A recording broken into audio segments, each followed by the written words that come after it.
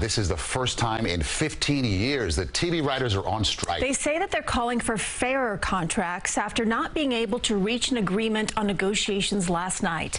Today, writers across the country took to the picket line, protesting in front of studios from Los Angeles to here in New York. CBS 2's Lisa Rozner live in Midtown, where she has been talking to writers today. Lisa.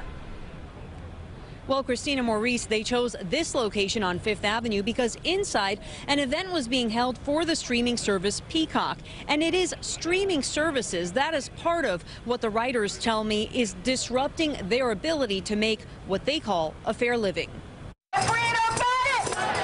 Writers are striking after months of negotiations between the Writers Guild of America and TV and movie studios represented by the Alliance of Motion Picture and Television Producers. The alliance represents nine companies, including Amazon, Apple, ABC, CBS, NBC, and Netflix. All the companies are looking for ways, all these loopholes to just pay us less for our creative product, even though they're making billions of dollars off of that creative product.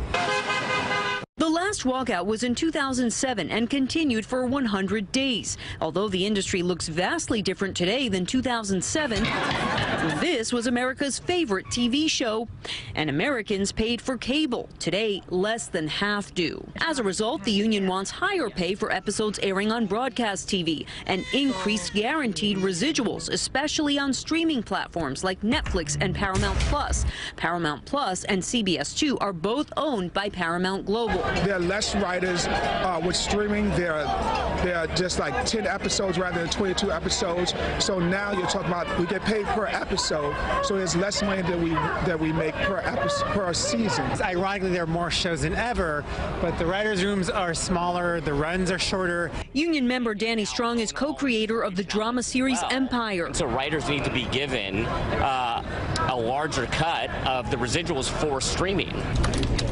There's also stalled negotiations over artificial intelligence platforms like ChatGPT, which are capable of writing scripts in seconds. The WGA wants to limit the use of that technology.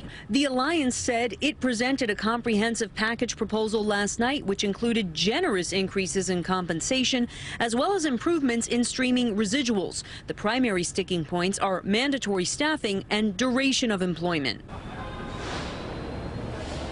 Now, the WGA says writers make about 23% less than they did a decade ago. For now, the impacts of this strike, well, tonight, late night talk shows will be running reruns, but this could also eventually put a pause on soap operas and the fall TV season. In Midtown, Lisa Rozner, CBS 2 News. Okay, Lisa, thank you. And as you heard, the last time a writer strike happened was in 2007. It lasted 100 days and ran into 2008. Most late night shows aired reruns during that strike strike. Those are usually the first shows to be impacted because they air every day and they don't pre-tape episodes like scripted shows. In 2007, late night hosts eventually returned to the air and improvised material.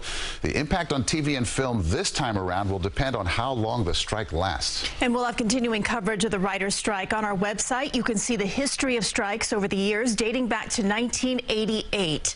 That is at cbsnewyork.com.